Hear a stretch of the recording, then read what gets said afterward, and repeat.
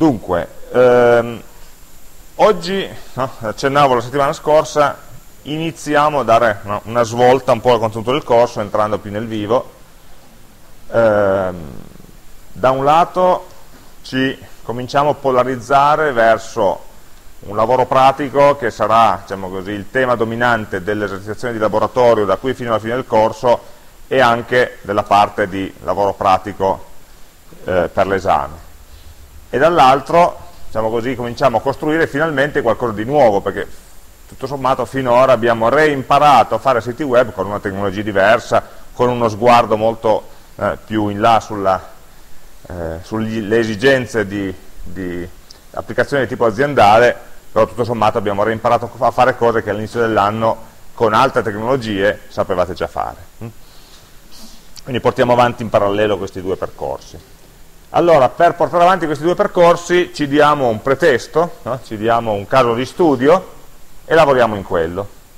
Allora, io i primi minuti del, delle chiacchierate di oggi vorrei raccontarvi, per non rovinare la suspense, non l'ho messo sul sito ancora, lo metto dopo, vorrei raccontarvi quelle che eh, via via poi cresceranno, ma cominciano a essere le specifiche eh, del sito web che svilupperemo nella seconda metà o metà abbondante del corso. Mm? Ehm, questo, eh, chiaramente qui racconto, provo a raccogliere le specifiche, proviamo a fingere no? un, un processo di sviluppo in cui si parte da un'idea, da quell'idea si derivano delle specifiche, si deriva un modello dati, si deriva poi un'implementazione, e poi ovviamente si derivano ciò che è necessario dal punto di vista dell'integrazione di quel sito con altri tipi di servizi esterni, hm, che poi è il, è il tema che cominceremo a affrontare da oggi, domani in avanti. Allora, il tema è questo, che abbiamo scelto un po', un po' per interesse, un po' per moda. Mi ero ragionato sul tema poi ve lo leggete con calma, eh, della gestione energetica. No? Beh, il tema dell'energia è in tutte le salse al giorno d'oggi, a proposito e a sproposito si parla di energia, risparmio, aut generazione autonoma, eccetera. Eh, noi proviamo a leggere quelle che potrebbero essere le esigenze in termini di nuova gestione del, degli asset energetici in ambito enterprise. Mm? Eh, qualcuno forse sa che è appena uscita una norma nuova ISO, ISO 50001, che in qualche modo raccoglie l'eredità di, di, altre norme precedenti, in particolare le norme ISO 14000 che parlavano di sostenibilità ambientale, eh, e le reinterpreta in chiave energetica. Quindi dice ciò che no, va fatto, ciò che un'azienda, tipica norma ISO legate alle norme di qualità, per cui ti definisce le caratteristiche del processo che ti devi inventare all'interno della tua azienda affinché no, eh, tu possa fregiarti del bollino di azienda diciamo così, ehm, che è dotata di un energy management system. Hm? Vabbè, questo solo informazioni di contesto, noi della norma non ce ne frega quasi nulla, se non il fatto che chiaramente sull'aspetto organizzativo avrà impatto tale momento su quello tecnologico diciamo così, non, non, non, ci diamo una, una, dipendenza dai contenuti della norma perché sapete che le norme sono sempre molto generiche non ti danno delle cose specifiche. Ma allora, la nostra idea è buttiamoci nel mercato enterprise con un prodotto nuovo.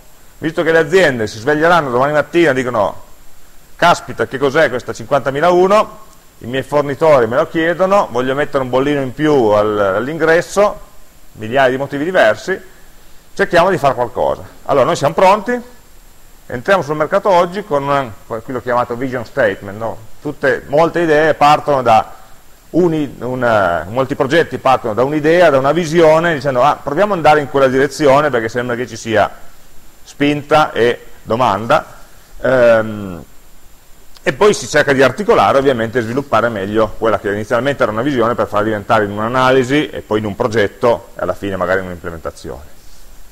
Quindi la nostra idea no? pseudo imprenditoriale, creiamo un nuovo sito, un nuovo servizio, chiamiamolo Energy Community, in cui noi, azienda terza, fornitore di uh, IT, di tecnologia, offriamo alle aziende che vorranno dotarsi di sistemi di gestione energetica dei servizi, una piattaforma, software via, basata su web, in cui loro possono fare delle cose, adesso vediamo qualche esempio, qualche idea, prima idea, poi man mano che andremo avanti nelle settimane aggiungeremo dettagli, no? con la speranza che loro trovino nel nostro, nel nostro, nella nostra offerta uno strumento utile da utilizzare, anziché costruirsi le cose in casa, usano il nostro strumento, noi lo vendiamo, pensiamo ovviamente di venderlo più aziende.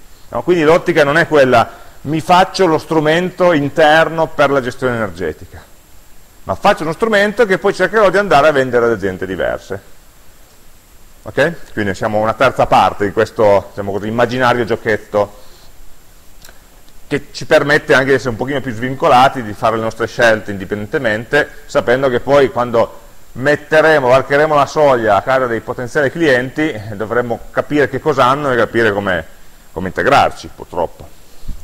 Allora il sito vuole fornire alle aziende, clienti, eh, la possibilità di gestire le proprie informazioni energetiche mettendo a disposizione degli energy manager gli strumenti di monitoraggio e controllo sia degli asset energetici interni, relativi al consumo o alla produzione di energia, sia di variabili esterne di rilevante interesse, ad esempio condizioni e previsioni meteo, ordini pervenuti, costo aggiornato dell'energia, eccetera. Frase lunga che dice tante cose. Innanzitutto parla di energy manager, che è una figura che tutte le aziende, quelle che non ce l'hanno, dovranno sicuramente dotarsene, no? che è il riferimento all'interno delle aziende di tutte le tematiche energetiche. No? Quindi questi energy manager hanno la eh, responsabilità, è chiaro che nelle aziende grandi ci sono già queste figure, negli enti anche di certe dimensioni, nelle aziende medie e piccole, come sempre il, il padrone, il responsabile che fa un po' di tutto, no? però in qualche modo eh, richiede un'attenzione, una specializzazione questo, eh, da questo punto di vista. Allora, cosa deve fare come prima cosa questa persona? Minimo deve avere sotto controllo la situazione, minimo. Okay? Voi provate a parlare se conoscete qualcuno, molte volte eh, questi energy manager tengono sotto controllo la situazione attraverso uno strumento che è abbastanza poco tecnologico, che si chiama le bollette. Ah, quindi ogni mese, bimestre, trimestre arrivano le bollette dell'energia elettrica, acqua, gas, gasolio, eh, poi dipende che cosa fate, eh, e si monitorano i consumi. E sulla base di questo, del, del trend di aumento e diminuzione, eh, si, eventualmente si cerca di agire no, sul piano del consumo, sul piano della produzione di energia, eventualmente se c'è una produzione interna di energia, con degli interventi, alcuni strutturali, tipo se mi accorgo che sto consumando troppo, che ne so, nella sala server, allora vedo se riesco a comprare dei server nuovi che consumino meno energia, che abbiano più potenza, eh, più potenza di calcolo a parità di energia, e quindi magari faccio un investimento no, in hardware per avere la stessa potenza di calcolo ma su macchine più moderne che quindi siano più risparmiose dal punto di vista energetico, esempio banale, no? più semplice che, che possiamo pensare. Se sto spendendo troppo nell'illuminazione, allora magari faccio attenzione, eh, timer, sensori di luce esterna e cose di questo genere per evitare di no, illuminare dove non, dove non, è necessario, quindi interventi di questo genere. Hm? Tecnologici, in parte anche, anche eventualmente sensi di sensibilizzazione, oppure interventi lato, lato acquisti. No? Se capisco come sto consumando, magari col mercato cosiddetto libero dell'energia eh, riesco a spuntare condizioni migliori, più adatte no, al tipo di consumo che ho io. O magari lavoro sull'organizzazione del lavoro, se riesco, se riesco su alcune lavorazioni a farle alle due di notte, se ho qualcuno lì oppure se vanno avanti in automatico, eh, dove sicuramente l'energia costa meno. Tanti ragionamenti che sono di competenza dell'energy manager, ciascuno a casa propria no? cerca di capire come intervenire. Eh, dalle bollette dell'energia è difficile capire dove sto consumando, a che ore, in quale attività. Quindi quello che vogliamo fare noi è dare uno strumento in più, attraverso cui queste persone possono monitorare e controllare, qui li ho chiamati gli asset energetici interni, cioè il consumo, in, il consumo interni, l'aggettivo interni l'ho usato qui per indicare eh, misurato all'interno dell'azienda. Mm? Eh questo vorrà dire andarsi a, andare a aprire quel quadro elettrico e andare a mettere un contatore di energia lì dentro. Che se, voi, se avete 300-400 euro che vi crescono, lo comprate e lo installate. No? Non costa 10 euro, ma non ne costa neanche 10.000, quindi è fattibile quel punto, da quel punto di vista. Il problema è che una volta che ho, magari c'è anche, eh, già, non mi sembra lì, eh, sembra tutto passivo. Eh, una volta che ho il misuratore installato nel quadro, io devo poi quei dati lì che il misuratore raccoglie convogliarli da qualche parte, metterli in un'interfaccia, renderli visibili, renderli consultabili, renderli eh, diciamo, confrontabili anche con il passato, con le previsioni, eh, eccetera. E, questo, e qui dove entriamo in gioco noi, con la nostra idea. No? Ti diamo un pannello di controllo in cui tu puoi aggregare le varie informazioni che arrivano dai, diciamo genericamente, dai sensori che hai in azienda, che possono essere sensori energetici, contatore di energia elettrica, contacalorie in uscita da una caldaia, oppure sensori ambientali, illuminazione esterna, temperatura esterna, temperatura interna. Alla fine ti tirano fuori dei numeri e io questi numeri li voglio permettere eh, di visualizzare, di controllare, di monitorare, alla fine poi tutto riassunto in questo termine. Monitoraggio e controllo eventualmente anche di variabili esterne, perché eh, sì, è vero che io eh, oggi ho consumato più di ieri in termini di riscaldamento, ma magari la situazione meteo era, di oggi era diversa da quella di ieri, oggi è nuvoloso, ieri c'era un po' di sole. Eh, quindi eh, è normale, non è che posso decidere che la mia strategia energetica è quella di avere sempre il sole fuori, eh. ci sono delle variabili esterne che eh, influenzano, di cui devo tener conto, se no come faccio a interpretare i dati? No, perché metà del lavoro, ma neanche metà, la parte più piccola del lavoro è avere i dati e visualizzarli. Vabbè, questo è un problema informatico.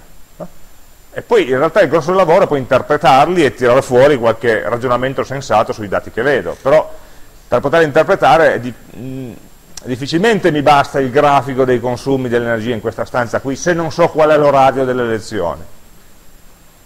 Eh? Non e quindi eh, è tutto un lavoro di correlazione tra il risultato che misuro e le eventuali cause o il contesto in cui questo risultato è stato ottenuto. Mm? Eh, e quindi informazioni che qui ho chiamato esterne perché non sono generate dall'azienda o da sensori, o da misuratori interni all'azienda, ma possono essere disponibili esternamente da fornitori di servizi esterni. Mm? Eh, quindi queste informazioni possono essere reperite o, o le abbiamo oppure le, le, reperiamo da chi le possiede. E poi rivendiamo il pacchetto alla nostra azienda dicendo guarda che bello, eh, ti faccio vedere le temperature esterne e le temperature interne con le previsioni, a fianco ti metto gli euro che spenderai domani, eccetera. No? Così potrai decidere se il 31 ottobre ti conviene eh, venire a lavorare, quindi scaldare tutto, adesso questi giorni per fortuna non faceva ancora molto freddo, quanto ti costa scaldare per venire a lavorare 8 ore rispetto a quanto ti costa perdere la giornata di lavoro, ad esempio. Un aspetto quantitativo che mm, difficilmente siamo in grado di calcolare. Con il nostro sistema, qui sto facendo un po' di marketing, no? sarai in grado di valutare quantitativamente e oggettivamente anche questo tipo di scelte, quindi che va anche proprio sul piano del personale e dell'organizzazione. Sito, vabbè, qui racconta un po' più il contesto, dovrà essere rivolto ad aziende di dimensione medio-grande, per le quali si possa presupporre una distribuzione in più sedi sul territorio, tanto per complicarci un po' la vita. Io offro un servizio a un'azienda, voglio mettergli un certo prezzo a questo servizio, quindi mi rivolgo ad aziende che abbiano una certa anche capacità di spesa. Aziende che quasi sempre, soprattutto se pensiamo magari a aziende di tipo produttivo, eh, diciamo, settore industriale, hanno più di una sede, hanno più di un capannone, no? oppure hanno una parte industriale e una parte uffici. allora noi dobbiamo essere in grado di prendere in carico l'azienda nel suo complesso, quindi nel nostro servizio dobbiamo già avere in mente che un'azienda può essere dislocata su più sedi. Poi dovremo tener conto della preesistenza di sistemi informativi gestionali esistenti, presso l'azienda non lo vendiamo noi, però se hanno qualcosa in qualche modo devo parlarci. Ad esempio, facciamo un caso semplice del, eh, del di un settore industriale, se io potessi avere dal sistema gestionale la produzione del giorno, in termini previsionali o anche solo in termini consuntivi, cioè io so ieri quanto ho prodotto, allora a questo punto posso mettere in relazione ieri quanta energia ho consumato, perché magari ieri ho consumato, beh no, ieri era festa, ma eh, l'ultimo giorno lavorativo ho consumato di più perché ho prodotto di più, mi va bene. Oppure ho consumato di più pur producendo di meno, vediamo che tipo... Allora, queste informazioni, questi incroci, sempre queste correlazioni, sono possibili solamente se riesco a integrarmi con informazioni che ci sono già. Non potrò mai andare a dire, guarda che io ti vendo un sistema completo per la gestione energetica, ma tu hai bisogno di un omino che tutte le sere mi, mette, mi immetta nel sistema questi dati. Ok? Se non voglio essere mandato, accompagnato a calci fuori dalla porta. Ehm, e quindi dovrà, dovrò preoccuparmi no, di integrarmi con i dati esistenti. E questo sistema dovrà essere gestibile da una pluralità di operatori responsabili interessati a vario titolo alla tematica energetica. È una frase che mh, da sola non dice niente, no, ci fa capire che vabbè, ci sarà sicuramente l'energy manager che deve avere un certo tipo di visibilità, ma possono esserci anche persone, diciamo così, a livelli gerarchicamente inferiori rispetto diciamo così, a un'ipotetica gerarchia di responsabilità energetica, ma che sono responsabili di, un, di una parte. Sempre, diciamo esempi pratici. Eh, un capo officina, se avesse un bel pannellino in cui vede in tempo reale cosa sta consumando, magari lo raffronta con ieri, eh, può già intervenire o comprendere eventualmente delle anomalie. Tu hai una macchina operatrice che sta consumando troppo olio, che comunque eh, è un approvvigionamento, eh, perché? No? Allora magari devi pianificare intervento di manutenzione, c'è un guasto, te ne accorgi, quindi eh, informazioni che a livello locale hanno un significato, magari a livello generale l'energy manager non riesce a capire, non riesce a vedere tutti questi dettagli. No? Quindi dobbiamo pensare di dare più utenti no? per azienda, ciascuno dei quali può avere una visibilità diversa rispetto alle informazioni che vengono raccolte. Eh, e fin qui è facile. Adesso ci aggiungiamo un elemento, no, lo, lo, modernizziamo un pochino, no? forniamo un po' ciò che le aziende vogliono cominciare a vedere, in un'organizzazione multisete risulta essenziale la collaborazione tra le diverse figure responsabili. Questa è una frase che è vera per qualsiasi modello organizzativo, se poi le persone non si parlano o non hanno gli strumenti per potersi scambiare informazioni, va tutto a pallino.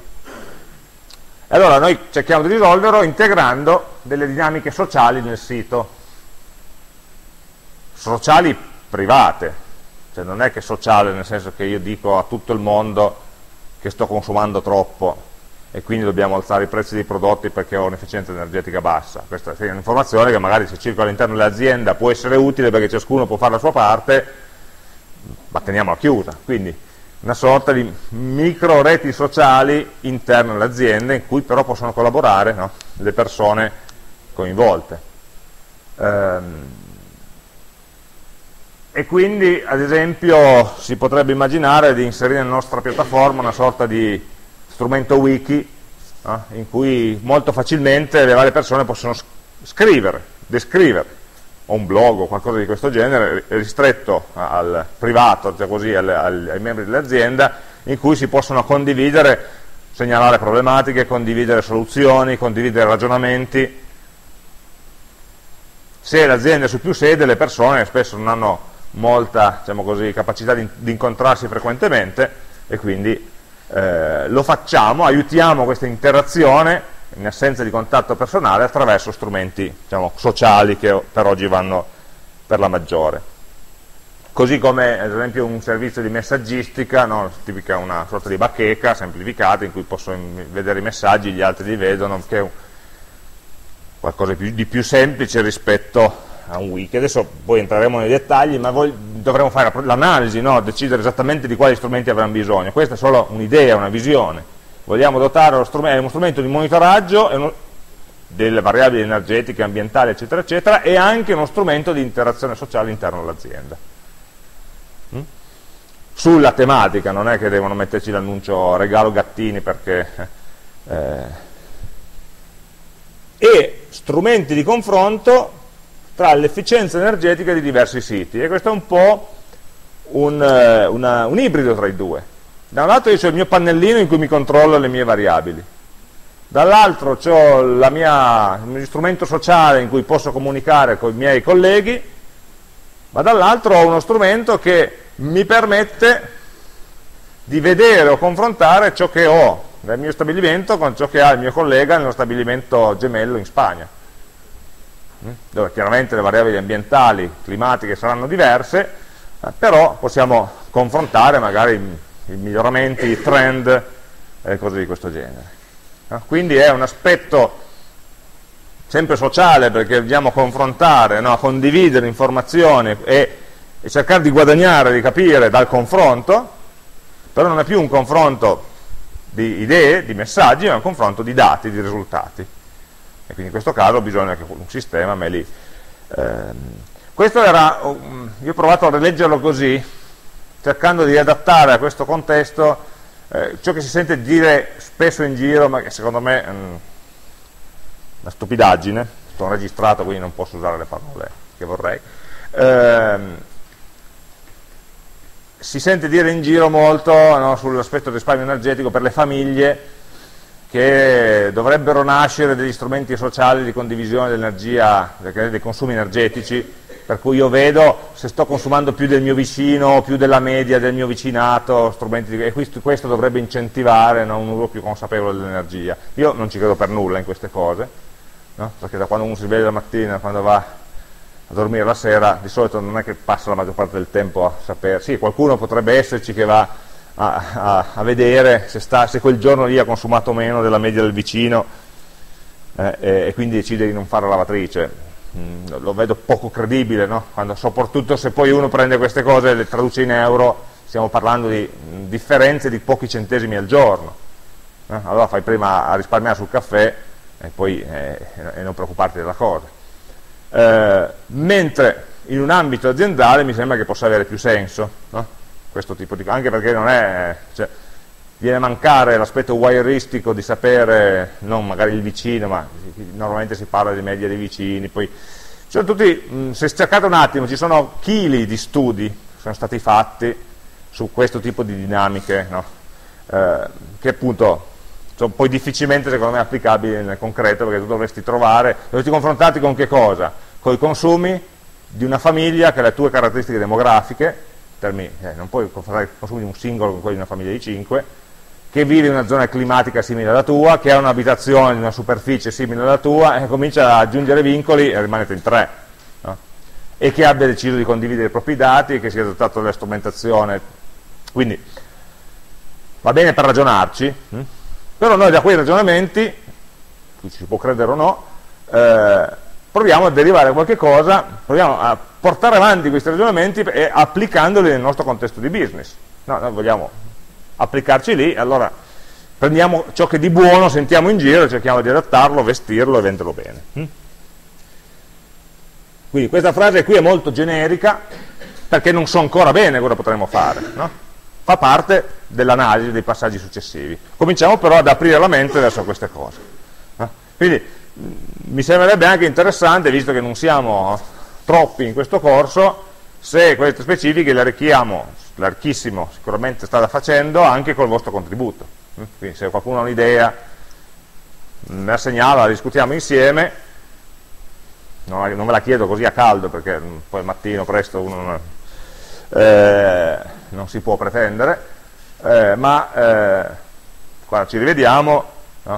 Magari dedichiamo un po' di tempo a ragionare, quando faremo l'analisi, facciamo una parte di questa analisi diciamo così, ve la diamo già fatta, eh, tra virgolette imposta, una parte invece la possiamo eh, sicuramente costruire insieme. Ok, eh, l'intero sito potrà essere accessibile solamente agli operatori autorizzati dall'azienda, ovviamente, il sito anche se un'azienda potrebbe decidere un sottoinsieme di queste informazioni di renderle pubblicamente consultabili.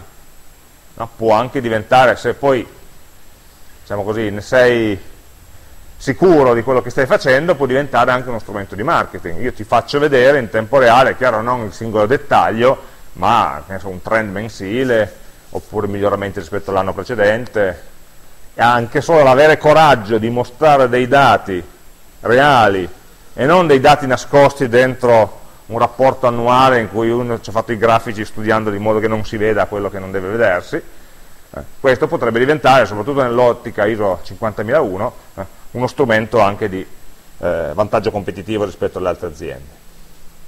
Poi bisogna essere in grado di monetizzarlo, per carità, ma è uno strumento possibile. Ehm, il sito per l'installazione SaaS la conoscete la sigla, Software as a Service. No?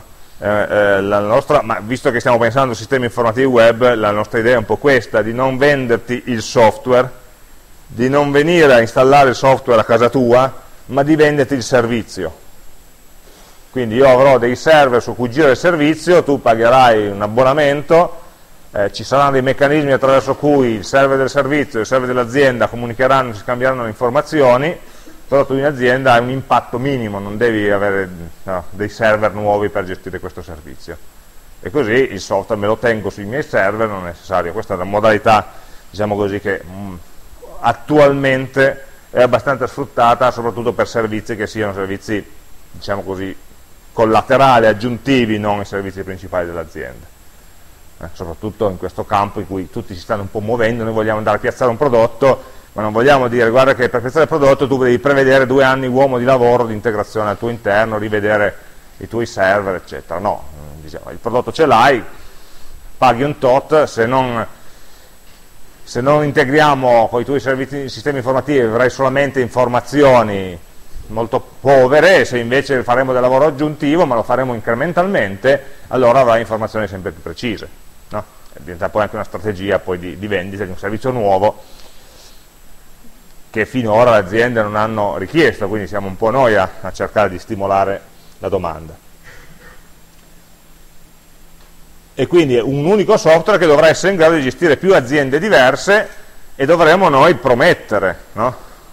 o garantire che ciascuna, i dati di ciascuna azienda, visto che stiamo ospitando sul nostro server i dati di aziende diverse, dovremo garantire che le varie aziende non possano vedere i dati reciprocamente l'una dell'altra ma noi se le abbiamo potremmo magari fare, dobbiamo poi mettere la clausolina giusta, ricordarci di dire all'ufficio legale, la clausolina giusta per cui noi possiamo eventualmente fare delle elaborazioni aggregate, anonime, sulle aziende che abbiamo e quei dati lì diventano preziosi di per sé, perché possiamo avere una mappa no, in, reale di informazioni che altri non hanno, quindi chissà che non ci possiamo costruire dei business collaterali sopra.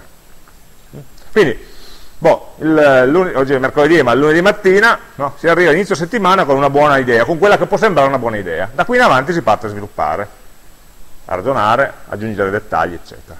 Mm? Quindi questo è un po' cerca di essere sia diciamo così, attuale in termini di contenuti che ovviamente in termini di tecnologie. Quindi, come l'ho chiamata prima, un pretesto, ragioniamo di energia, piuttosto che inventarci qualche cosa completamente scorrelato, magari può anche tornare comodo in questo momento, a, a livello di tirocini, contatti con le aziende, cose di questo genere. Va bene. Adesso da qualche parte dobbiamo partire. No? In un processo di sviluppo vero, eh, a questo punto dovremmo fare una serie di riunioni, di ragionamenti, identificare un gruppo di lavoro che faccia l'analisi e da qui derivi quali sono le funzionalità principali eh, va bene, va fatto, lo faremo. Il problema è che magari nel frattempo vogliamo operativamente cominciare a partire. No? Quindi cerchiamo di travasare, cioè di dimenticare per un attimo, dare per scontato per un attimo di sapere quali saranno le funzionalità del sito eh, e cominciamo a implementare un pezzettino. ma anche perché così poi man mano che avremo le idee, man mano che avremo le specifiche le potremo aggiungere. Mm?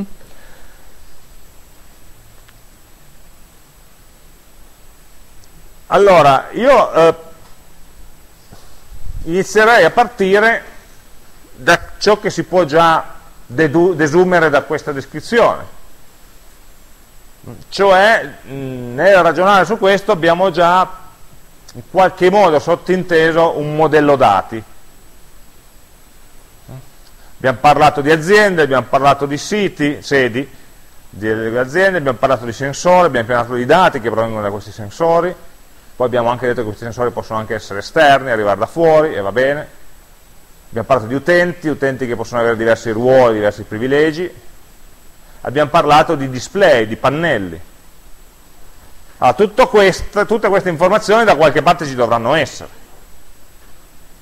Allora, sia per approfondire, per chiarirci le idee, sia per cominciare a costruirlo, potremo cominciare a lavorare nel database eh, del sito e poi su questo costruiremo le varie funzioni, ma facciamo un prima un, un progetto di massimo del database.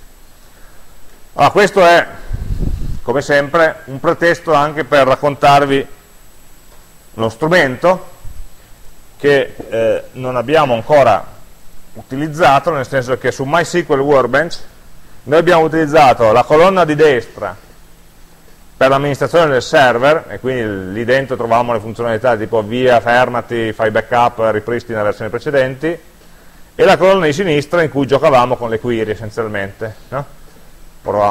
Visto, vedevamo i dati, interrogavamo, scrivevamo query, eccetera. La colonna centrale non l'abbiamo mai usata. Questa era eh, cioè, la funzionalità, di fatto è un tool separato, no? anche se è integrato nella stessa finestra, che permette di fare la modellazione di nuove basi dati. Eh, e ci permette di creare quello che lui chiama un modello entità relazioni. In realtà non è proprio così, o meglio, non è... Eh, uguale, analogo a quello che chiamavate nel corso di base di dati modello entità relazioni, no? perché vedremo che questo tipo di modelli sono più concreti. Allora, vediamo un attimo eh, le caratteristiche di questo strumento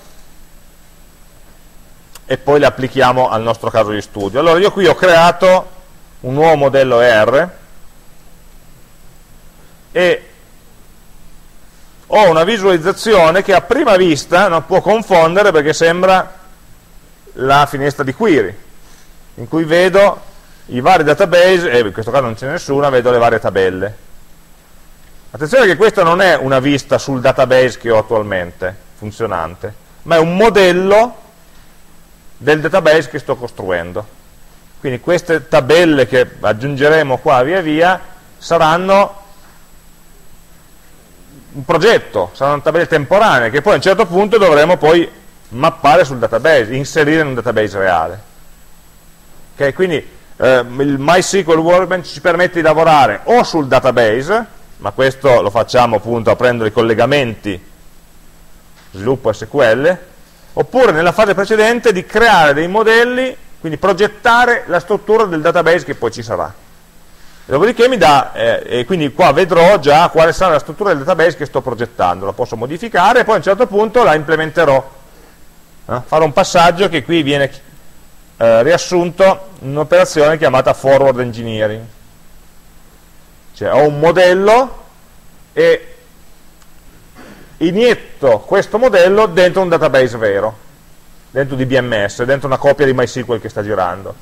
Finché costruisco un modello, MySQL potrebbe anche non essere attivo, non ci interessa, stiamo solo lavorando con un editor. Poi a un certo punto prendiamo tutte queste tabelle che abbiamo disegnato e le mettiamo dentro il database, le iniettiamo dentro il database. In realtà eh, il Workbench permette di fare anche tipo altro, altre operazioni, ad esempio il reverse engineering, cioè prende un database che esiste e me ne crea un modello che posso editare, che posso modificare, e poi degli strumenti di sincronizzazione, per cui dopo che ho creato il database, l'ho ingegnerizzato, ho fatto forward engineering, l'ho messo in un database, vero, poi magari mi accorgo che devo modificarlo, aggiungere delle cose. Quindi in un caso potrei cancellare tutto e rigenerarlo da capo. oppure posso cercare di sincronizzare, cioè applicare al database esistente, running, vero, le modifiche, solamente le modifiche che ho fatto sul modello. Mm? Quindi è uno strumento abbastanza potente. Allora, che cosa dobbiamo fare? Dobbiamo eh, definire, io qui do, anziché mydb, do un nome, vediamo se riesco a non farlo piantare, edit schema, eccolo qua, lo chiamo energy community,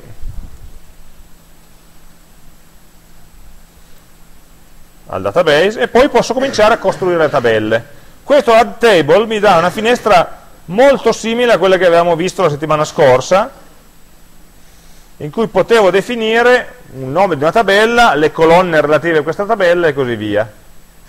No? Quindi abbiamo una tabella, adesso qui posso definire per quella tabella le singole colonne, gli indici, eccetera è la stessa interfaccia con la differenza che mentre prima stavamo lavorando direttamente sul database, qui stiamo salvando queste informazioni in un, in un modello che poi solo in un secondo momento trasleremo in un database. Ma in realtà il bello di questo, eh, come lo chiama lui, data model, modello ER, è che posso lavorare anche in modalità grafica e posso creare, anziché creare direttamente delle tabelle, posso creare dei diagrammi da cui lui, dei disegni, degli schemi, simili ai schemi R, da cui lui automaticamente deriva le tabelle. Adesso vediamo.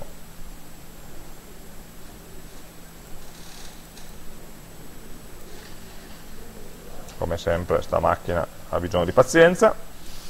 Allora, io ho creato un nuovo diagramma, quindi i diagrammi sono interni al progetto, io ho creato un nuovo progetto, un nuovo modello, questo modello è fatto di una serie di tabelle, viste, eccetera, e una serie di diagrammi. Ne ho creato uno. Allora, finestra di editing del diagramma è un foglio bianco in cui posso aggiungere informazioni. Ad esempio posso aggiungere tabelle oppure posso aggiungere relazioni tra tabelle quindi posso aggiungere clicco qua una tabella poi faccio doppio clic, vado sotto e mi dà le proprietà di questo oggetto tabella anziché la, chiamarla tabella la chiamiamo user magari, la tabella degli utenti e di questa tabella posso definire le proprietà no? E beh, le colonne a questo punto da qualche parte dovrò darle queste informazioni no? semplicemente le do in un editor che ha, più, che ha anche una componente grafica no? ad esempio possiamo dire che questo utente avrà sicuramente un suo login che è un testo che deve essere non nullo e univoco eccetera l'id utente è un numero intero mettiamo che si incrementa da solo può avere non so, un nome che anche qui un testo obbligatorio, eccetera.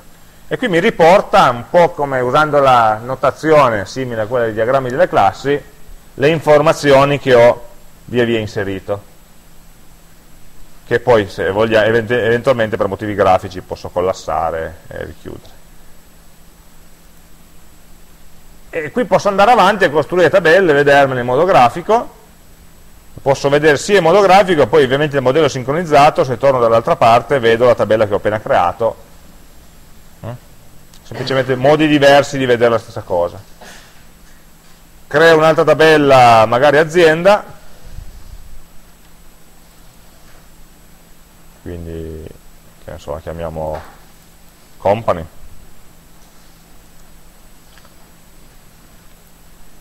in cui ho delle colonne, avrò un id numerico, poi avrò il nome dell'azienda, posso avere il sito web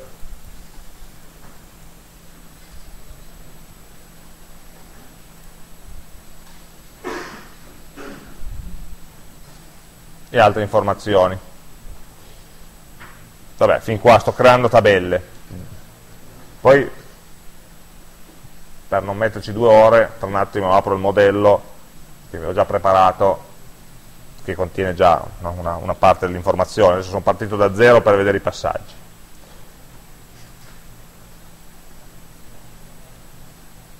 In aggiunta a questo è possibile definire delle relazioni tra queste tabelle, ad esempio io potrei definire, tanto per vederli, vedere qualche esempio, che chiaramente un utente appartiene a un'azienda, quindi ho una relazione 1n tra utente e azienda, un utente appartiene a un'azienda sola, un'azienda possiede più utenti, e poi possiamo dire che di ciascuna azienda c'è l'utente che è responsabile, l'amministratore del tutto, l'energy manager. Ci sarà sempre, in un'azienda ci sono 100 utenti, ma c'è uno che è quello che ha la responsabilità di, tutto, quello che ha diciamo, i totali privilegi di, di, di, di, visibilità e di modifica all'interno dell'applicazione. Allora questa è una relazione 1-1 tra utenti e aziende. Ogni azienda è esattamente un utente amministratore in realtà non è 1-1 ma è uno 0-1 perché l'utente può essere o non essere amministratore.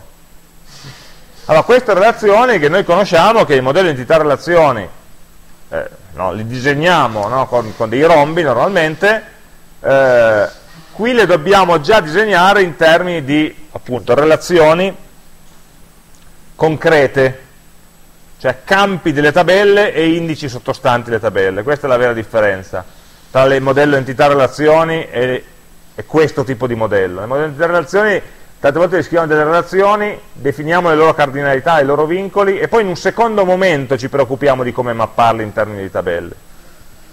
Eh, mentre qua lo dobbiamo fare tutto subito, è, un, è uno strumento di livello, diciamo così, di astrazione più basso, più concreto rispetto al modello entità relazione che facciamo su carta. Quindi a volte conviene magari passare dal modello di relazione astratto e poi modellarlo qua, su casi complessi. In questo caso stiamo appunto facendo qualche esempio semplice, quindi non ce n'è bisogno.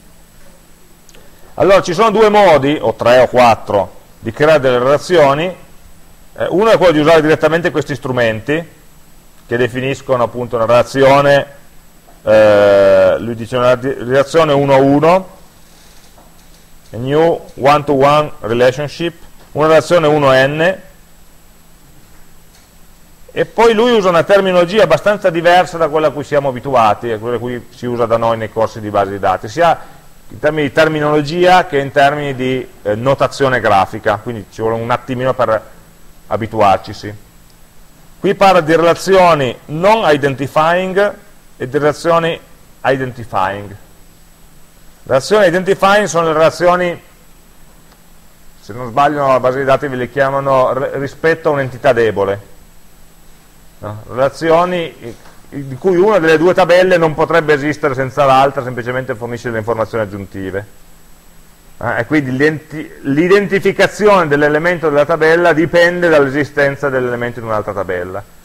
Questo è vero quasi sempre e quasi esclusivamente per le tabelle che contengono delle relazioni NN. Vedete che qui non c'è una relazione NN, c'è la 1-1 e la 1N. Se devo fare un NN cosa faccio? Devo fare una tabella intermedia che ha a sua volta due relazioni 1N. Queste relazioni 1N sono di tipo identifying, nel senso che eh, la tabella intermedia non, è di per sé una tabella debole, no? non, ha, non, ha, non potrebbe esistere senza avere le informazioni delle due tabelle principali. Quindi una terminologia un po' diversa per rappresentare le stesse cose. Qui possiamo, dicevo, esistono diversi modi, in drag and drop, eh, in, eh, de, eh, per selezionare questi, queste relazioni. Io preferisco lavorare all'antica, perché loro sono in grado di creare già questi, diciamo così, se voi usate questi strumenti grafici vi aggiungono già dei, eh, dei campi alla tabella, che sono i campi, le chiavi esterne, eccetera. No? Io, ma semplicemente per comodità no, futura, preferisco scegliere io che nome dare a questi campi e quindi lo faccio a mano, ma il risultato è lo stesso che se lo faceste in modo grafico, solo che lui vi assegna dei nomi di default e se, se poi non vi piacciono tocca andare a cambiarli, quindi alla fine. Allora, io, quello che volevamo fare abbiamo detto che un utente appartiene a un'azienda. Okay? Quindi nella, nella tabella utente io devo mettere una relazione univoca, un utente può appartenere a una sola azienda e deve appartenerci, sì. Eh, eh, e quindi posso mettere l'id company come campo di questa tabella utente. id company sarà ovviamente un int, perché tale è la chiave primaria della tabella company, è un campo obbligatorio, not null, e basta. Allora qui ho aggiunto il campo. Adesso devo dire al database che questo campo id company è una chiave esterna rispetto alla tabella company. Allora qui sotto ci sono le foreign key che fanno quello. Chiave esterna, il nome della chiave esterna, questo è un nome simbolico, puramente di documentazione, la chiamo user company, per ricordarmi chi collega a chi, eh? e devo dire questa chiave esterna a quale tabella fa riferimento? Cioè qui sono nella tabella user, eh? sto creando una chiave esterna verso quale tabella? Beh, verso la tabella company. E qual è il campo chiave? Campo chiave è il campo id company, E questo campo chiave a quale campo della tabella secondaria deve fare riferimento? In questo caso lui mi, eh, non mi presenta tutti i campi della seconda tabella, ma solo quelli o le chiavi primarie o quelli su cui è stato definito un indice, su cui ha senso, è possibile diciamo così, eh, garantire l'integrità referenziale. In questo caso c'è solo la chiave esterna di company. Quindi nel frattempo lui ha rappresentato la stessa cosa in forma grafica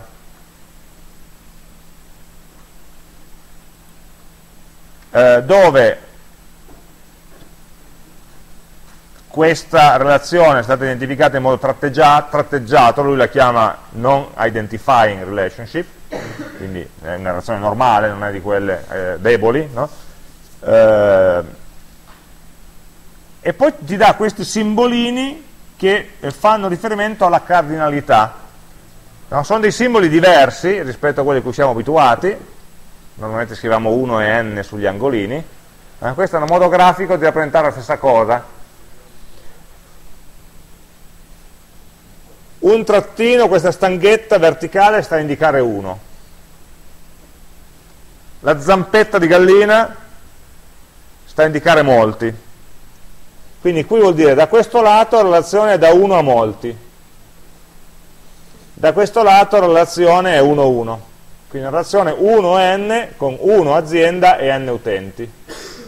No? Quindi voi potete immaginarvi che dalla, se lo guardo l'azienda io posso vedere tanti utenti perché seguendo questa freccia a un certo punto si biforca la zampetta di gallina e posso avere l'utente 1, l'utente 2, l'utente 3. Visto dal lato utente vado verso la company e ne vedo una sola, qui ce n'è una sola, non c'è nessuna biforcazione di questa linea. Okay? Se la relazione fosse opzionale come faccio a farla rendere opzionale? Beh, questa colonna id company dico che non è obbligatoria, quindi ho tolto il not null, e mi compare un tondino, un pallino che sta a indicare lo 0. Quindi questo mi dice che la relazione lato azienda è una relazione 0-1, e quindi una relazione univoca ma opzionale.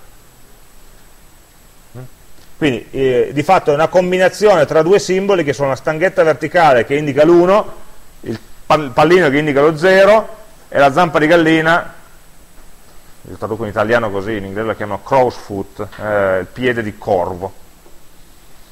Vabbè, sei più abituato alle galline forse, che ai corvi. Ehm, e la zampa di gallina rappresenta l'N. La linea tratteggiata rappresenta le relazioni normali, la linea continua rappresenta le relazioni identifying, che non è questa in questo caso. Qui lo stiamo, lo stiamo definendo, lo vediamo in termini grafici e nello, e nello stesso tempo possiamo anche definire le regole di integrità referenziale che vogliamo applicare al database. Cioè noi stiamo facendo contemporaneamente uno sforzo di documentazione per, di, di, progetto, ragioniamo sul modello, documentazione perché stiamo dando, dei nomi sensati, eh, diciamo così, presentandoli in modo grafico, e poi anche di, di, di, implementazione vera e propria della base dati in cui questa relazione eh, posso definire quali vincoli il database dovrà applicarci, cioè quando viene violato questo vincolo di integrità referenziale cosa devo fare? Arrabbiarmi oppure no? Nel caso di aggiornamento, nel caso di una cancellazione, e queste sono le opzioni classiche del SQL, fai niente, oppure blocca l'operazione se, se, violasse, cioè se cercassi di eliminare una,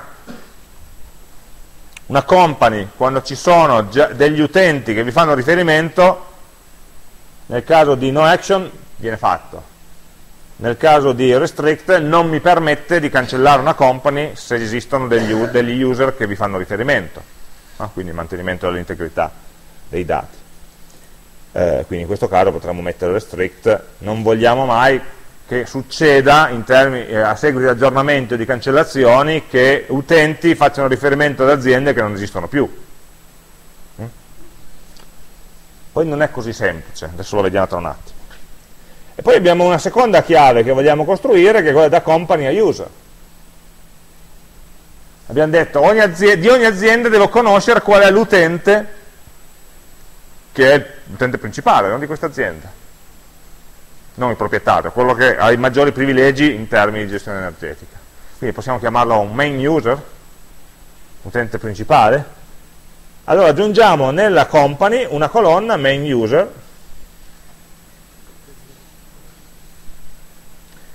che anche esso sarà una chiave esterna rispetto alla tabella user. Ogni azienda deve averlo, quindi not null questo, e anche qua aggiungo la chiave esterna, a questo punto sto lavorando nella tabella company, eh, mi metto sempre dal punto di vista della tabella da cui parte la relazione. Invece usando i simbolini grafici, mh, mm, ma poi se, se leggete l'help della documentazione del Workbench ve lo spiega, si deve partire cliccando prima sulla tabella da cui parte il lato many della relazione e poi dopo sulla tabella da cui c'è il lato one, ma mi trovo meglio direttamente a lavorare sulle tabelle. In questo caso abbiamo company, la chiamo company underscore main user, dalla tabella company faccio riferimento alla tabella ho perso il mouse dove è andato?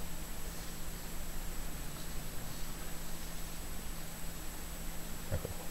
Dalla tabella company faccio riferimento alla tabella user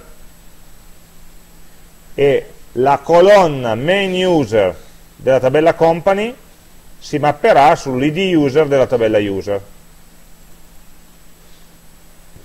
quindi qui lo vedo anche graficamente se vado su company eh, lui fa un mapping di colori no? vedete che la, il verde di main user nella tabella company segue a una liga relazione verde che, che, che porta la tabella user e evidenzia in verde il campo id user no? quindi si riesce a seguire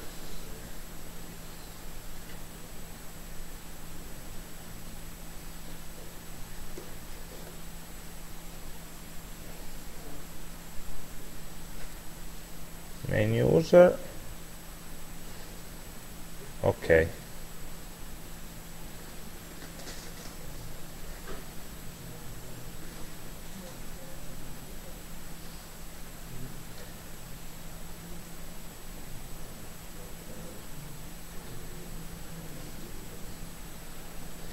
Sì, qui c'è un vincolo che non so se esprimere o no il database. Vedete che c'è eh, lui sulla base, fa, eh, perché non mi ha mai chiesto la cardinalità di queste relazioni? Perché lui la capisce da quali sono le chiavi primarie, qual è, diciamo così, la, la, e, e, i vincoli di null, not null, di unicità, di obbligatorietà degli attributi. Quindi non è necessario che io lo specifichi, no? è implicito nella, nella, struttura delle tabelle. E qui infatti mh, mi ha un, per un attimo stupito il fatto che la relazione qua fosse da 1 a molti, noi invece la, la pensavamo una relazione da 1 a 1. E effettivamente però, per come l'ho modellato nel database, è così, nel senso che non c'è nulla che impedisce alla, eh, allo stesso user di essere citato come main user di aziende diverse. L'azienda 1 ha come main user Pippo, l'azienda 2 potrebbe avere come main user Pippo. In realtà noi sappiamo che c'è un vincolo a monte, che Pippo o appartiene all'azienda 1 o appartiene all'azienda 2 e non ha senso che sia main user di un'azienda a cui non appartiene.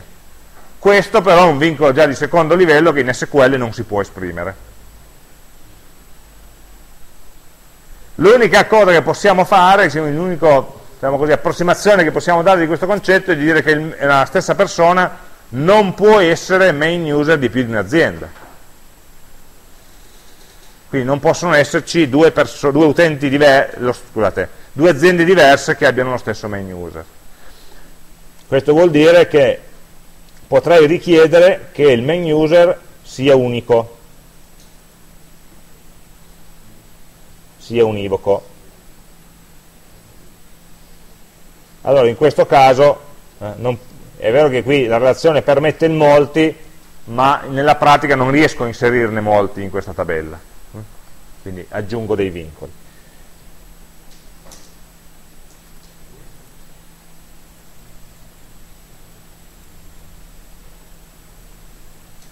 Ok. E anche qua potrei definire quali sono i vincoli di integrità referenziale, cioè qui anche evitare di cancellare un utente o aggiornare un utente quando questo utente è il main user di un'azienda, perché se per caso cancellassi quell'utente lì, l'azienda rimane senza main user e quindi non c'è più nessuno che può eventualmente accedere ai dati, modificare, creare altri utenti, eccetera. Quindi in teoria, dico in teoria perché tra un attimo ritorno sui miei passi, anche qua dovrei mettere, diciamo così, forzare i vincoli relazionali. E qui vado avanti, no? modellando via via le informazioni, l'azienda è fatta di siti, di sedi, allora ho bisogno di una tabella sulle sedi, le sedi contengono dei sensori e quindi ho bisogno di una tabella sui sensori, i sensori forniscono dei dati, quindi ho bisogno di una tabella che rappresenta i dati di ciascun sensore, eccetera, eccetera. Adesso vi faccio vedere lo schema che avevo fatto, che ho preparato, ma prima di vedere lo schema completo eh, volevo ragionare un attimo su questo vincolo, perché è vero che dal punto di vista statico dei dati non ha senso che esista un utente che non appartiene a nessuna azienda, quindi il cui campo ID company dell'utente non è valorizzato a una chiave primaria valida di un'azienda, non ha senso, non può esistere un utente che non appartiene a nessuna azienda, così come non può esistere un'azienda che non abbia identificato un suo utente principale. E quindi è vero, sono veri questi vincoli che stiamo scrivendo, dal punto di vista statico. Pensatelo dal punto di vista però operativo, pratico, dinamico. Cioè io devo creare una nuova, arriva un nuovo cliente. Allora, questo nuovo cliente ha l'azienda e ha l'utente responsabile ha questi dati, no? se non ha questi dati non partiamo, oltre all'assegno. Se non ha questi dati non possiamo partire. Se ha questi dati, cosa faccio? Inse creo prima la tabella, scusate, l'azienda nella tabella company e poi l'utente nella tabella user? Non posso. Perché se provassi a creare prima l'azienda nella tabella company, non saprei cosa mettere come main user, perché l'utente non c'è ancora allora non riesco a farla insert perché il database mi dice no, quel campo main user è obbligatorio e mi devi dare un riferimento a un utente che esiste già e che non è già main user di qualcun altro. Eh, non ce l'ho un utente da, da, darti, o ne metto uno finto, ma... E quindi non posso creare prima l'azienda, la, devo creare prima l'utente. Peccato che non posso neanche creare prima l'utente, perché nel momento in cui creo l'utente devo specificare il campo id company relativo all'azienda eh, questa, non un'altra. Ah, quindi è vero che alla fine no, avrò creato entrambi e entrambi saranno ben collegati, ma mentre li creo ho il problema dell'uovo e la gallina, eh, per cui non posso materializzare l'istante. Le query viene prima una e poi l'altra o viceversa, ma in nessuno dei due casi no, può funzionare. E allora cosa si fa? Si rilassano dei vincoli, io li rilasserei lato company, che mi sembra meno grave, avere una company che per un attimo esiste ma non ha ancora un main user, e vabbè glielo diamo, metti che quello si licenzia, ah, può anche aver senso, sappiamo che è una responsabilità che a questo punto non stiamo più dando al database di verificare che l'azienda sia ben caricata, e diventa una responsabilità dell'applicazione. Allora a questo punto abbiamo tolto il vincolo lato company, vuol dire che potremo creare no, una eh, nuova company senza ancora specificare l'utente, poi andiamo a creare l'utente, poi andiamo ad aggiornare la company mettendogli il campo con l'id dell'utente. Mm? Quindi, adesso diciamo, praticamente tante, no, tante volte, ma succede spesso che il, progetti che sono concettualmente puliti dal punto di vista relazionale, no, del modello entità relazioni, poi quando uno cerca di traslarli in modelli operativi eh, deve scendere dei compromessi ma non c'è niente di, di strano, no? parliamo di ingegneria, parliamo di compromessi. E va avanti così, quando uno ha finito questo giochino, quindi qui questo modello ricordiamoci di salvarlo, lui lo salva in un file che si chiama con estensione strana mwb o qualcosa del genere, mwb, chiamiamolo prova perché poi vi faccio vedere quello più completo, e questo è un file che posso prendere, riaprire, modificare, posso sempre in ogni caso vederlo sia dal punto di vista grafico che dal punto di vista delle tabelle, che dal punto di vista delle chiavi primarie, eccetera. Anche relazioni. Ci faccio doppio clic sopra, me le fa vedere, me le permette. Qui è un altro, quando ho fatto doppio clic sopra la relazione mi permette di modificarne le proprietà in una tabellina riassuntiva. Anche qua obbligatorio, non obbligatorio. Noi avevamo detto che ad esempio il campo main user poteva non essere obbligatorio eh, dunque mettiamolo di così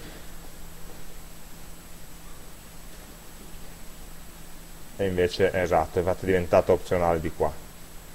E vabbè, andiamo a modificare le, le proprietà di dettaglio di queste relazioni. Se non vi piace di cambiate il nome. Pardon, qua sotto. Potete cambiare il nome o altro. Eh, si salva questo, a questo punto non abbiamo ancora toccato il database, abbiamo solamente disegnato con questo strumento grafico, ma che poi non è solo grafico, la struttura del database che vogliamo. Il passaggio successivo, vi dicevo, è quello di fare forward engineering, cioè generare, adesso mi fermo un passo prima, genero il codice SQL che creerà un'istanza di questo database in un DBMS online da qualche parte qui in realtà posso eh, definire degli opzioni, diciamo così, delle, varie modalità con cui questo SQL viene generato.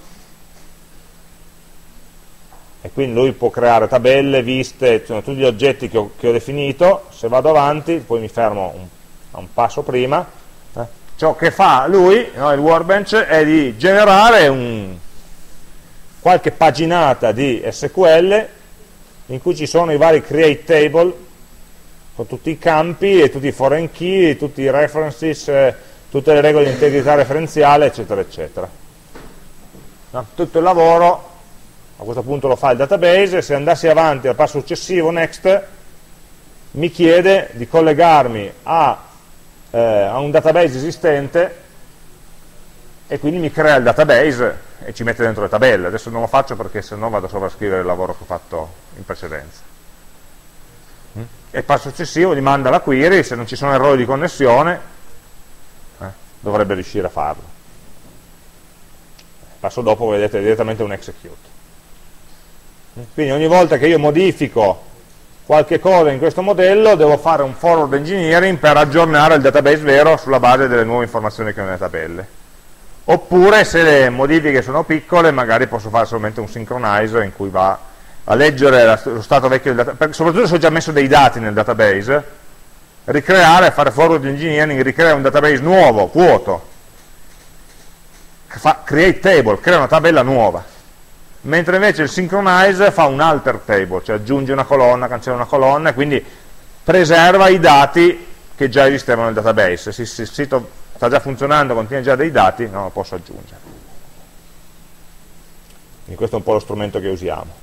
Eh, vi apro solo per vederlo insieme, poi aspetta, questo, sì, sono andato un pochino avanti in questo lavoro, poi così si riesce già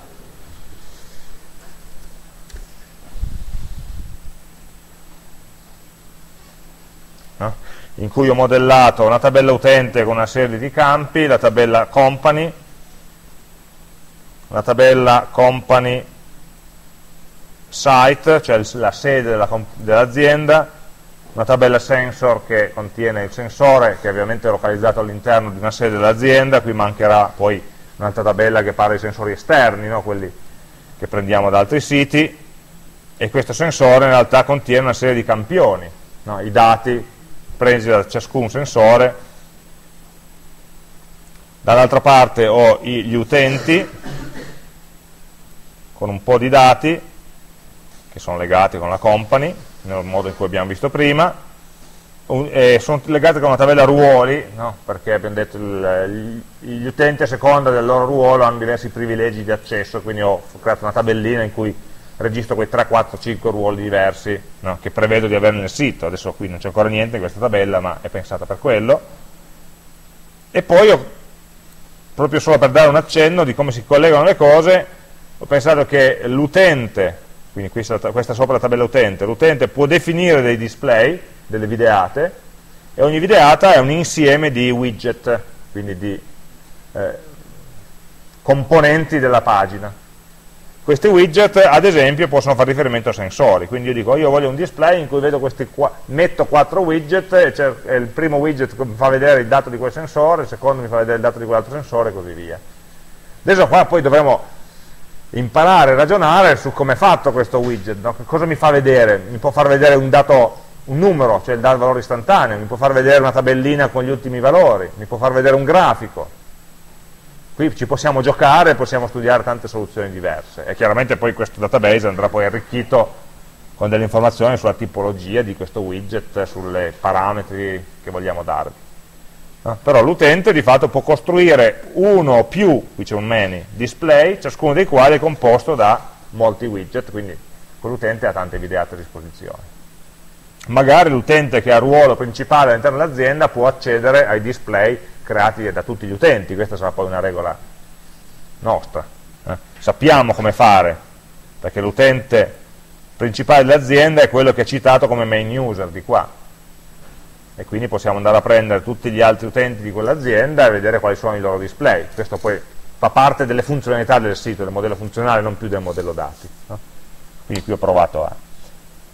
E questo ovviamente l'ho mappato poi in SQL eh, su, sul sito, ho generato le tabelle. Eh, vi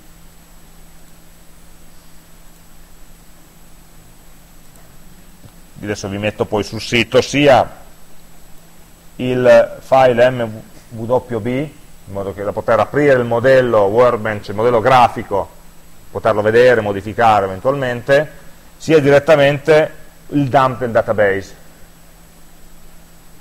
Eh, ho, eh, ho, fatto un forward engineering del database, quindi ha creato le tabelle e poi subito dopo ho fatto un dump di quelle tabelle vuote, in modo da poterle importare facilmente. Ho fatto un export da, dal, dal distance manager e, e quindi per, per rapidità, no, per voi per poter lavorare vi conviene partire importando direttamente questo SQL, se no potete partire aprendo il modello e poi fare forward engineering sul database. Ehm, il dump, già visto che prima avevamo parlato di problemi di chiave esterna,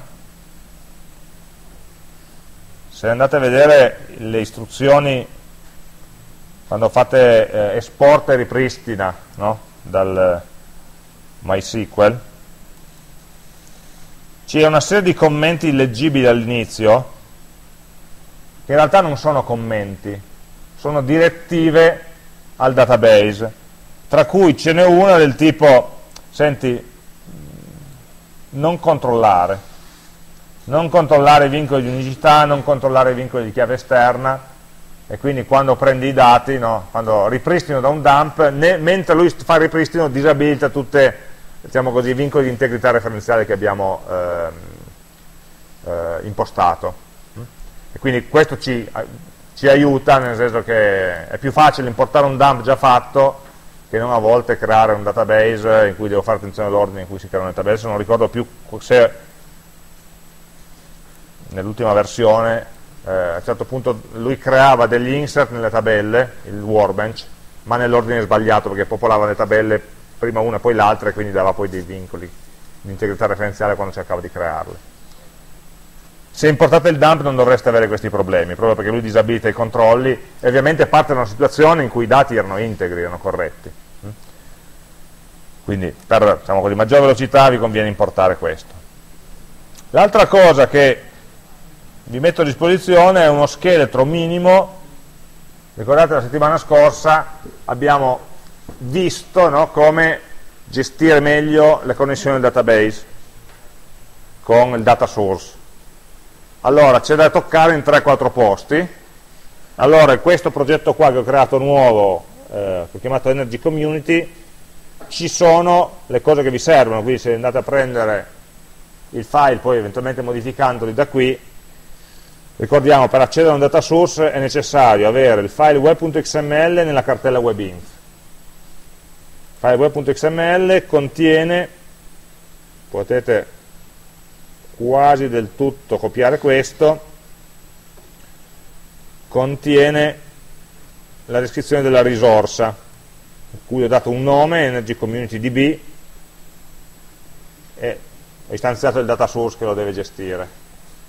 Quindi queste sono le righe da aggiungere al web.xml, oppure vi copiate questo a partire da questo progetto. Ho creato un progetto da zero in cui non c'è altro se non queste cose qua, quindi ciò che serve per partire. Poi devo dire a Tomcat di istanziarlo e gestire la directory. Questo va messo in un file context.xml che va messo non dentro webinf ma dentro metainf nell'altra cartella. Quindi se andate a prendere context.xml dentro metainf contiene le istruzioni eh, per creare il data source vero e proprio. Quindi crea un data source, gli dà questi parametri di configurazione, questi privilegi d'accesso e qui eventualmente lo modificate se avete creato un utente diverso o con una password diversa per ospitare questo database e poi l'indirizzo MySQL qui c'è il nome del database, l'ho chiamato Energy Community. Quindi questo è dentro context.xml di metainf. La terza cosa che ho modificato è dbconnect la classe dbconnect che avevamo eh, apriva una connessione nuova ogni volta. Adesso abbiamo istruito Tomcat di gestirci un connection pool automaticamente e quindi si, può, si semplifica anche di molto la classe di bconnect in cui ho il costruttore no, dbconnect ricordiamoci che noi la usiamo soprattutto per il metodo getConnection che mi istituisce un nuovo oggetto di tipo connection l'oggetto getConnection in questo caso è banale nel senso che chiede la connessione al data source che sta gestendo il pool di connessioni. Quindi getConnection è diventato un metodo cretino. Ribalta la richiesta sul data source. Data source il quale ho potuto creare al momento della creazione dell'oggetto. Ma il data source in realtà non l'ho creato io, c'è già, me l'ha creato Tomcat, perché gli ho detto nel context.xml. Quindi la creazione dell'oggetto devo semplicemente prendere, interrogare no, il directory di Tomcat, prendere un riferimento al data source ricordiamoci, il data source è l'oggetto che gestisce il connection pooling, no? il pool di connessioni, che c'è già stata inizializzata grazie all'istruzione del context.xml e me la salvo localmente, me la salvo dentro questo oggetto. Così non devo ogni volta andare a fare lookup a riprendere l'oggetto. Quindi questo dbconnect si, si tiene un riferimento al data source e ogni volta che chiedo una connessione a dbconnect, ehm, la, lui in realtà la chiede al data source. Quindi è abbastanza diverso, ma dal punto di vista delle classi che lo usano, delle pagine GSP che lo usano, non, non cambia nulla. Noi semplicemente chiamiamo il getConnection. Quindi questi sono i tre ingredienti che vi permettono di partire subito operativi con un progetto che usa direttamente il data source, quindi anche più efficiente, e non apre le connessioni a mano ogni volta.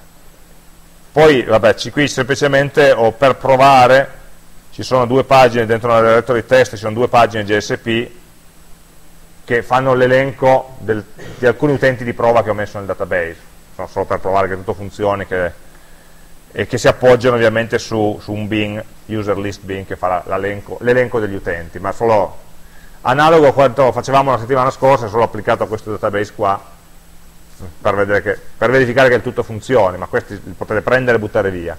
No? La parte che sai, i tre file che servono sono il nuovo dbconnect, il context.xml e il web.xml. E ovviamente ricordatevi di salvare anche dentro lib una copia del connettore MySQL perché altrimenti non può funzionare.